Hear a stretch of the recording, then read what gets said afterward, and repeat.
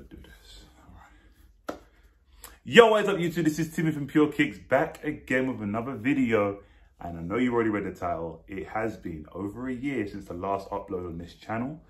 And so I wanted to quickly come on here and just talk through what's been going on. A few people have commented and whatnot, and I haven't really gone on, into much. There's not much I can go into, but I do feel like you guys deserve an explanation on what's been going on with the channel and maybe what's to go on with the future as well.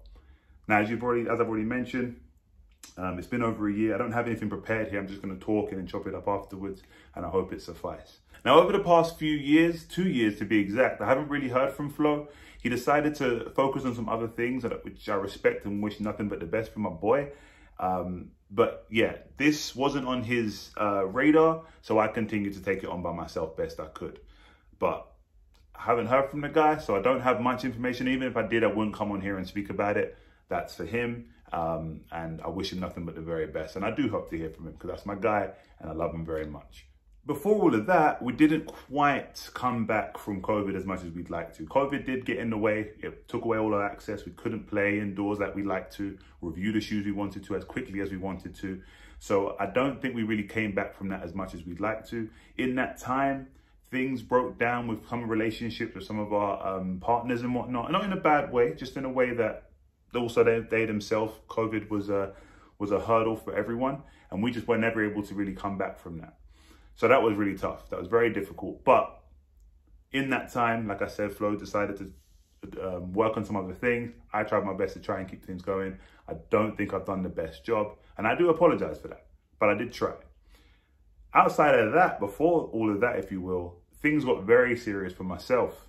And over the past three years, I've taken on a lot. I've become a whole different individual. I got married. I bought a house. And as of recently, I became a dad. Yes, that's right. I am a dad. I'm a father to a beautiful little girl. Her name is Zola. Um, and it's, I couldn't be happier. Me and my wife are in love. If anyone who knows about having kids knows that this is the absolute pinnacle of love. And I'm so, so happy, so proud of both of them, both my wife and my daughter. Um, and that's been real. And I think that's another reason why I thought it's best to come on here. She was born on June 19th. Um, and it's I think today is July 5th and I've probably got some time to quickly talk to you guys about it. So since then, things have been very real for all the better. I'm so, so happy, like I mentioned. And yeah, there's a lot going on right now. And I just don't think there's time for me um, to continue with the channel as I'd like to, okay? I know we've been missing on performance reviews. I still say we, we've done a lot of work, but it's just been me recently. Um, but I just don't think I have the time and capacity to continue going like we used to in the past, okay? To be clear at the same time, I'm not to saying that the channel is completely over and nothing's ever going to happen on here. You've seen a couple shorts from myself. If I'm on the court and I'm playing, I've got a little something to say or some highlights, I'm going to put them on here for you guys to enjoy if you'd like to.